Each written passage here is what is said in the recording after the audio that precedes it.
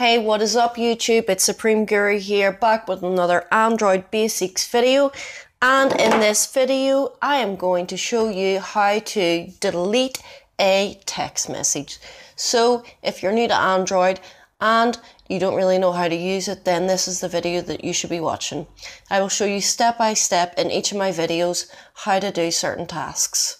Okay, so what you'll want to do is obviously you'll need to go into your text messages. So you're going to go to this little thing that looks like a speech bubble. Um, yours may look different just depending on what phone you actually have. Um, but anyway, so say for example, I wanted to delete a text message. Now, there's two ways of deleting a text message. You can delete one text message if you really wanted to, or you can delete a whole conversation. If I wanted to delete one text message, all I would have to do would be hold in. So I just all I did there was I long pressed the text message that I wanted to delete. And whenever you long press it, it gives a few options.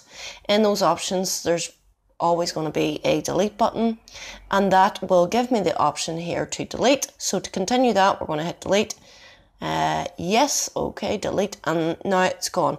So that's deleting one text message. But if you actually wanted to delete a whole conversation, then all you would do is go into your messages. So this is your message layout.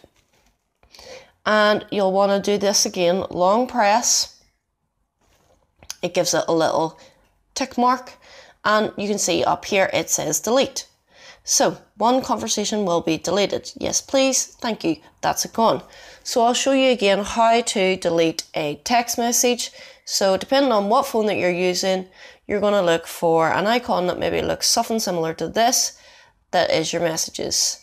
So you can delete one message at a time, or maybe two if you wanted. So, say for example, I wanted to delete these three messages, so I'm going to hold in, delete.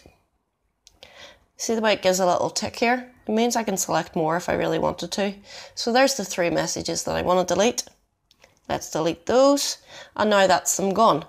But if you actually want to delete a complete conversation that you've had with somebody, then all you have to do is long press. You'll see a little tick button and somewhere in the top corner you'll see a delete button. You want to hit that delete button and that's it gone. So that's my tutorial on how to delete a text message on any Android phone. If you find it helpful, please give it a like. And if you have any questions, throw them down in the comment section below. Until next time, see ya.